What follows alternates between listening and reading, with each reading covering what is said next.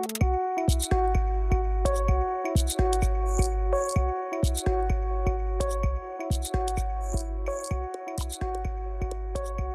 and welcome to the latest episode of Agilato. My name is Ravi Verma. I'm the founder and CEO of Smooth Apps and the Org Whisperer. Good to have you back.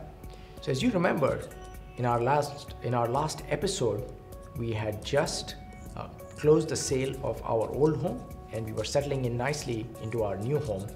And our agile coach Ismar Hasanovic had taught me, who is an agile coach, how to apply the principles and practices that I teach my clients in my own real life.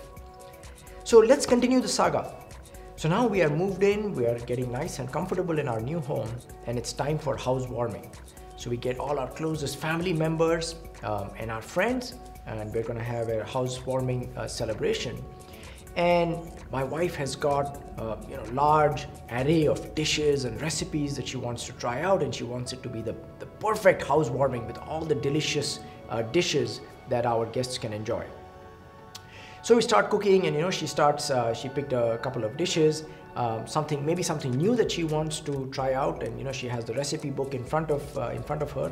And here's where I tell you there's a difference between the the attitude my wife has and I have. So I found out recently after being married to her for uh, for a long time. I forget how long um, was she said you're a buy the book kind of guy so i, I didn't really look at myself that way until she said it but yes there are times in life where uh, if there is there are set of instructions i tend to stick to the rules uh, on the other hand for my wife especially when she's cooking everything in the recipe is a gentle mild suggestion and is up for negotiation.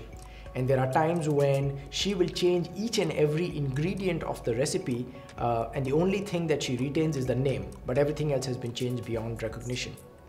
So as she is cooking the different dishes there are different uh, things which are simmering on the stove um, uh, I, I, observe her as a chef and i you know cooking is not something that uh, i specialize in. I prefer the eating part and there are two or three things that she seems to do on a fairly regular basis the first thing is that she's very focused and she's constantly looking at the different dishes as they are cooking, whether they're simmering on the stove top or there's something in the in the oven.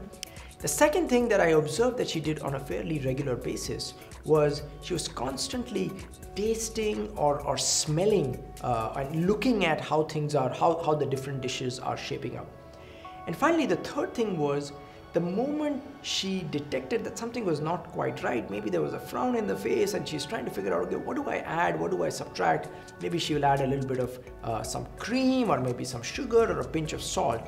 And finally, when this happens often enough, the frown starts disappearing and it, can, it get, changes into a smile or a, or a look of satisfaction. And then she knows, okay, this is exactly the way I wanted it to be. The dish is done, she covers it and gets ready to serve it to the guests. As you look at this real world example, a very common familiar example of cooking, I want you to think about how we develop software when it comes to an agile software delivery framework.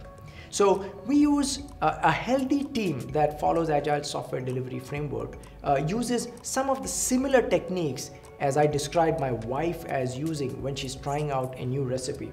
So the first step was Transparency. Being able to see at any given time how the food is shaping up, how it's looking, uh, what it's looking like, being able to see the food as it's being cooked on the stove top. The second is inspection. Inspection is smelling it, tasting it, and asking yourself the question is this product, is this dish, or maybe is this software shaping up the way we want it to be? And the third is adaptation. The moment the dish starts heading in a direction which would not be fulfilling or tasty or delicious for our guests, the chef immediately applies some course correction and makes some adjustments by increasing or decreasing the heat, adding some sugar, maybe a pinch of salt, maybe some cream, and then repeats the cycle over and over again until the dish is exactly the right taste. In the world of agile software delivery, This kind of an approach is known as empirical process control. And the three pillars of empiricism are transparency, being able to see how the software is developing, inspection, testing the software to ask yourself the question, is it going in the direction we want it to, and adaptation. The moment we realize the software is going off track, we make immediate course correction before it goes to the point of no return. Now here's my question to you. What happens if any one of these pillars is neglected or is not used effectively? Let's take the cooking example. If we were cooking and we did not have transparency and we could not see how the dish was shaping up on the stove top, what might happen? Or maybe we could see we had transparency, but we got distracted by, or maybe we did not have the flexibility to taste it. So we could see it, but we could not smell it, we could not taste it. Um, how might that impact the probability that the food is going to be delicious? Or what if we could see it, we could taste it, but we did not have the freedom to make any adjustments. We could not touch the stove top to increase or decrease the heat or add some sugar or salt or maybe some cream. If you think about the cooking example, you pretty soon come to the conclusion that each of these three steps is very, in, very important for us to get the desired outcome when we are cooking a new dish. Exactly the same when we are cook, when we are creating a new piece of software. So at any given point in time, our teams need to have the ability to look at the software as it's shaping up, whether it is the code base, uh, whether it is the, the test cases that are being executed, or whether it's the actual product in a production-like environment. That is transparency. Our teams also need the ability to compare how the product is today to where they thought it should be so that we could meet our customer commitments. That is inspection. And finally, the moment our teams realize there is some deviation, maybe there are too many defects, maybe performance is slow, the UI is not the way our client or client representatives want it to be, we must immediately take course correction. If we get distracted and if we lose our sight of the ball at any different, at any of these points, at any of these stages, we are exposing our team, our customers, and our business to more risk than we might be able to tolerate. So here's my question to you. As you think about this example, how do you rate your team's ability to effectively apply empirical process control? especially if you're using agile software delivery, what is the state of transparency in your teams? What is the state of inspection?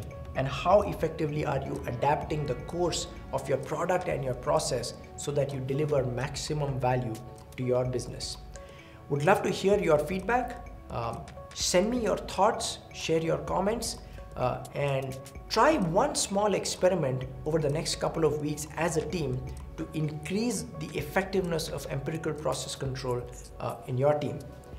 Until the next episode of Agilato, uh, this is Ravi. Hope to see you soon.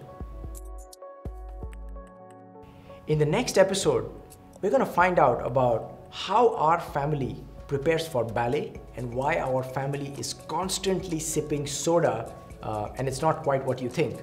But to find out more, you got to tune back. So tune into the next episode of Agilato and until then, this is Ravi. See you soon. So, would you like fresh ideas on how to stay agile? Check out smoothapps.com. We've got our upcoming events and training. You can read our blog for free tools and techniques, and you can even schedule a free mentoring session with us. So, until next time, scrum on.